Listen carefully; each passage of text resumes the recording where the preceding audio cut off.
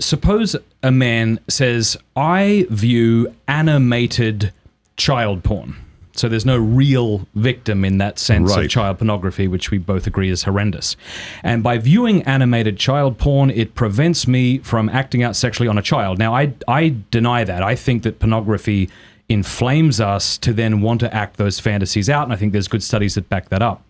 But surely you wouldn't say to the man who views animated child pornography, that's not bad so long as you don't act it out. Wouldn't you want to help this poor sick dude? Yes, I would, but I'm thrilled that he's not acting it out. I mean, Agreed. Okay, Of course. Well, that's big. Yeah. we're both thrilled that he might have a poor substitute, but it is a substitute. If that were the case, no child is being used. It's all animated. Yeah.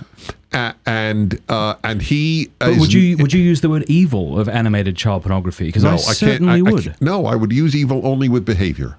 That's where we might differ, f- Yeah. forgetting the sex issue. You can't be evil. You didn't do evil if you thought evil. You I- did if evil I'm if masturbating to animated pictures of pornography, I'm not doing something evil. That's correct. yeah, I think that's I think that's despicable. Yeah. Really? Yes, of course.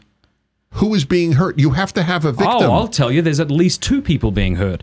There's the person who's poisoning himself by Yes, encouraging yes, him you're to right. think I acting out on okay. children, and there's also wait. the animator. Okay, wait a minute. We both we both are aching for him not to have those fantasies. I agree with you, but I But you I- won't call it I- evil. I won't call a fantasy evil. Thank you so much for watching that clip. If you want to watch the entire thing, go over to mattfradd.locals.com. Locals is like a non woke Patreon. So if you want to support the work of Pints with Aquinas, you can do that over there, mattfradd.locals.com. And when you do, you get a ton of things in return. You get bonus podcasts, you get bonus episodes of things, you get monthly spiritual direction with Father Gregory Pine, you get monthly audiobooks, you get our print newspaper sent to your door quarterly, and we even pay for shipping. There's a ton of things you get. Um, and you also get the satisfaction of knowing that you're supporting the work of Pints with Aquinas. mattfradd.locals.com.